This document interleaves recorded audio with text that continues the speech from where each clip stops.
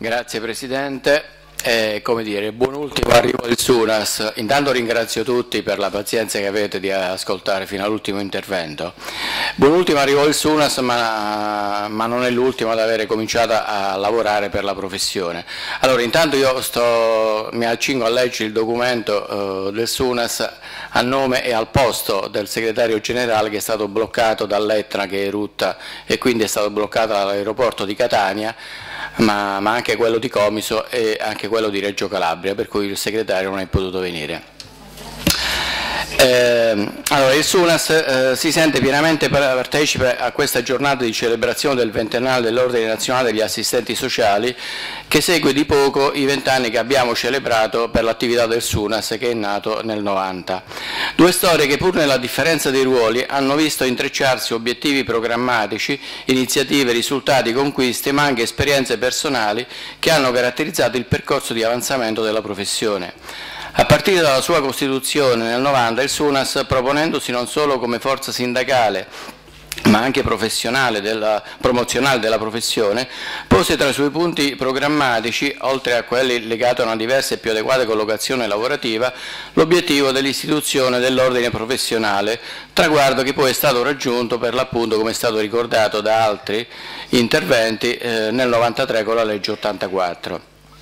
Vi sono stati alt molti altri risultati importanti a testimoniare l'impegno del SUNAS, eh, alcuni eh, sviluppatisi sempre unitamente all'azione svolta dal, dall'ordine dal momento che c'è stato e dalle altre rappresentanze professionali, ASNAS, AIDOS, SOSTOS, che mi hanno preceduto negli interventi, e, quindi, e non starò a, ricordarli per no, anche per non perdere tempo, per, per, stringere. Ugualmente vogliamo ricordare però la, la, il contributo che ha dato il SUNAS per l'emanazione della legge di riordino dell'assistenza, quindi la 328 del 2000, a partire da uno specifico congresso che venne fatto a Pestum nel 1997. Eh, il problema del Sunas però non è di limitarsi solo a, a un momento di, di, autocelebrazione, di guardare al passato, ma vogliamo guardare al futuro e con impegno. L'intento è quello infatti di continuare a, a trarre dalla storia le motivazioni e le ragioni eh, necessarie per rinnovare e rafforzare l'impegno eh, per, per il futuro, per la professione. In questa prospettiva si inserisce la sottoscrizione del patto per la professione proposto dal Sunas come un'alleanza strategica tra tutte le rappresentanze, concretizzatosi nell'istituzione del tavolo tecnico presso la sede dell'Ordine Nazionale che tutti ci rappresenta, nella, eh, nella condivisione del progetto di legge di riordino della professione, nella costituzione dei gruppi di lavoro sulla formazione e sulle competenze esclusive eh, a, cu a, cui abbiamo lavorato. Nell'iniziativa, eh, anche questa proposta dal SUNAS, riguardante la questione del rischio professionale e della sicurezza che si è concretizzata lo scorso novembre al forum di Arezzo che è andata a buon fine con l'affermazione anche qui di un percorso unitario. Un percorso comune che deve necessariamente trovare un'ulteriore declinazione nel coinvolgimento e la partecipazione anche delle realtà ordinistiche associative, regionali e territoriali, nonché delle nuove espressioni associative e rappresentative della comunità professionale a tutti i livelli. L'obiettivo da perseguire non è tanto la definizione o il riconoscimento del ruolo della, della nostra professione, ma un aggiornamento del quadro normativo che regoli la nostra professione superando l'attuale frammentazione che lo caratterizza e che non tiene conto dell'evoluzione dei percorsi accademico-formativi sul piano scientifico e culturale, dei vari atti e provvedimenti legislativi che dal 1993 in poi si sono succeduti a livello nazionale e regionale e che hanno riguardato aspetti giuridici, organizzativi e operativi attinenti alla nostra figura e che in eh, più in generale al servizio sociale e professionale. Sappiamo che non è solo un problema di legge, quindi non è solo un problema normativo, anche se bene ha fatto il, il CNOAS a cogliere l'occasione di dover rispondere all'obbligo di adeguarsi al nuovo processo di riforma degli ordini professionali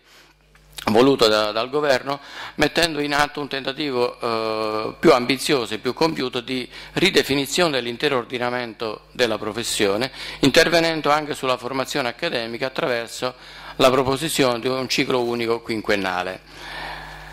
Si è scelto così di portare in alto la professione, di andare oltre la richiesta di un ulteriore accreditamento della professione, che comunque pur con le tante criticità e difficoltà è ormai fuori discussione. L'intento è quello di affermare, o meglio di riaffermare, la fondatezza scientifica delle competenze legate alla definizione di contenuti teorici supportati da validi percorsi di ricerca in grado di rispondere realmente alle istanze professionali, ad assicurare efficacia alla pratica e in particolare agli interventi volti alla risoluzione dei problemi, consolidando l'idea dell'assistenza sociale eh, quale agente di cambiamento, questo è stato ricordato in numerosi interventi, quale professionista non solo dell'aiuto ma attore, protagonista e perno centrale nella costruzione del nuovo welfare di comunità. Ciò significa che dobbiamo recuperare una forte dimensione politica e di impegno civile, componente questa essenziale della nostra identità professionale, ponendo una stretta connessione tra le nostre istanze professionali e quelle dei cittadini. Se oggi siamo qui è perché abbiamo già impocato la strada giusta per seguire un percorso unitario, sia pure nelle differenze di ognuno, come dimostra l'impegno comune che ci ha visti impegnati nella costruzione della proposta di legge prima e nella elaborazione oggi dei documenti elaborati dai due gruppi di lavoro, per l'appunto quello sulla formazione e quello sulle competenze. Con la, eh, con la, costituzione del gruppo sulle competenze si è voluto rappresentare l'esigenza di delineare quelle che possono e debbono considerare competenze esclusive come si conviene per ogni professione e quelle che esclusive, ancora non sono, ma sulle quali vogliamo continuare ad impegnarci. Infatti è stato detto che il documento non è un documento dire, indiscutibile, ma in progress e quindi anche adesso in vista delle ci auguriamo delle consultazioni che faranno le, le commissioni parlamentari, insomma daremo il contributo per migliorare il testo e per, per far sì che risponda alle esigenze di tutti noi. Come SUNAS eh, confermiamo la piena volontà di continuare a sostenere il patto per la professione che oltre alla, vorrei brevemente ricordare, oltre alla formazione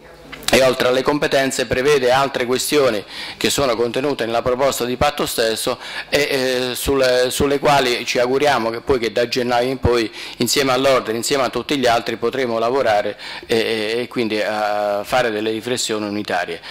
Dicevo come SUNAS confermiamo la piena volontà di continuare a sostenere il patto per la professione che va rafforzato attraverso adeguate forme di partecipazione rivolta all'intera comunità professionale, ispirati sempre da un forte spirito unitario che rappresenti il vero motore propulsivo per una efficace e reale azione eh, della, di promozione della professione. Grazie.